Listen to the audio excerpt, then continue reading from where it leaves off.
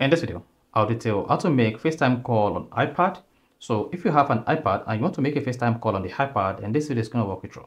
It doesn't matter whether you have the same iCloud account on your iPad as well as your iPhone, you can always make a FaceTime call on your iPad. What's most important is make sure the FaceTime application is activated on your iPad, and if not, you'll not be able to complete the FaceTime call. So if I learned this video, you found this helpful informative, please don't forget to like and subscribe. Now to make a FaceTime call on your iPad, all you just need to do first is go to your iPad settings. On settings page, locate the FaceTime application. If you have it installed, open it. Then once you click on that, make sure FaceTime is enabled. If it is disabled, then click on this to turn on FaceTime. Then hit the back button or close the settings page and wait for the FaceTime application to be activated on your iPad. Go back to the settings page again then on the settings space, scroll down and click on the FaceTime application. Then you should see the FaceTime application turned on.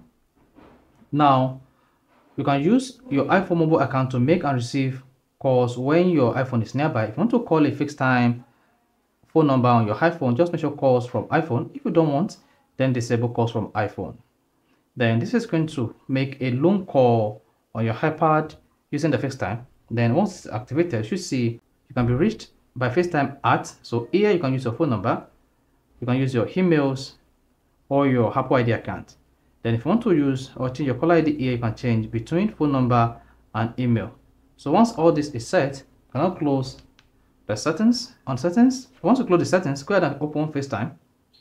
Then you should see the FaceTime application pops. Now once you click on any of the contact like this, locate the contact you want to call, this. Then this is going to make a FaceTime call on your iPad. You see that?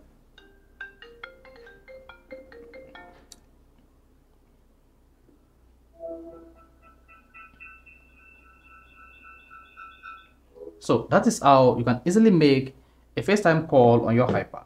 So if you found this video helpful and informative, please don't forget to like and subscribe.